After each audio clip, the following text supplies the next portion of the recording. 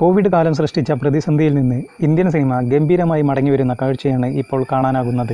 തെന്നിന്ത്യൻ സിനിമ നേരത്തെ തന്നെ മടങ്ങിവരവ് നടത്തിയെങ്കിൽ ഇപ്പോൾ ബോളിവുഡും പഴയ വിജയവഴിയിലേക്ക് വരികയാണ്.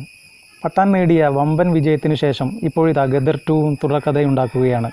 പാൻ ഇന്ത്യൻ ബിഗ് ക്യാൻവാസ് ചിത്രങ്ങളുള്ള ഇൻഡസ്ട്രികളുമായി തട്ടിച്ചു നോക്കുമ്പോൾ കളക്ഷനിൽ മോളിവുഡ് ഏറെ പിന്നിലാണെങ്കിലും നമ്മുടെ സിനിമയുടെ വളർച്ചയും തുടരുക തന്നെയാണ്. മികച്ച അഭിപ്രായം നേടുന്ന ഒരു ചിത്രം അമ്പത് കോടി ക്ലബിലൊക്കെ എത്തുന്നത് ഇപ്പോൾ അനായാസമാണ്. ഇതിന്റെ ഏറ്റവും പുതിയ ഉദാഹരണമായി ആർ ഡി എക്സ് എന്ന സിനിമ മലയാളത്തിൽ മാറുകയാണ്.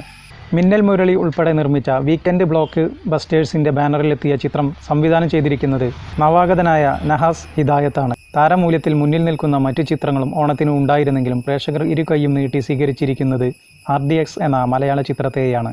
മികച്ച ഇനീഷ്യലും പോസിറ്റീവ് മൗത്ത് പബ്ലിസിറ്റിയും നേടിയെടുത്ത ചിത്രം ഓണത്തിന് വൻ തിയേറ്റർ ഒക്കുപ്പൻസിയിലാണ് കേരളത്തിലും മറ്റു മാർക്കറ്റുകളിലുമൊക്കെ പ്രദർശിപ്പിച്ചത്. ഇപ്പോഴിത് അമ്പത് കോടി ക്ലബിലേക്ക് ഇടം പിടിക്കുമ്പോൾ അത് ഏറ്റവും വേഗത്തിൽ സ്വാധിച്ച മലയാള ചിത്രങ്ങളുടെ ലിസ്റ്റിലേക്ക് ആർ ഡി എക്സ് എന്ന സിനിമയും എത്തുകയാണ്. ലിസ്റ്റിൽ അഞ്ചാം സ്ഥാനത്താണ് ചിത്രം. ഒൻപത് ദിവസം കൊണ്ടാണ് ആഗോള ബോക്സ് ഓഫീസിൽ നിന്ന് ചിത്രം അമ്പത് കോടി നേടിയെടുത്തത്. മലയാള സിനിമയുടെ ചരിത്രത്തിൽ ഏറ്റവും വേഗത്തിൽ അൻപത് കോടി ക്ലബിലെത്തിയ ചിത്രം ലൂസിഫറാണ്. മോഹൻലാൽ നായകനായ പൃഥ്വിരാജ് സുകുമാരന്റെ സംവിധാന അരങ്ങേറ്റ ചിത്രം നാല് ദിവസം കൊണ്ടാണ് അമ്പത് കോടി ക്ലബിൽ എത്തിയത്. ദുൽഖർ സൽമാന്റെ കുറുപ്പാണ് രണ്ടാം സ്ഥാനത്ത്. അഞ്ച് ദിവസങ്ങളിലാണ് കുറുപ്പിന്റെ നേട്ടം.